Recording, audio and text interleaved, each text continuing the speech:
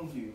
I swear to God, nothing is wrong with me. I'm just clean.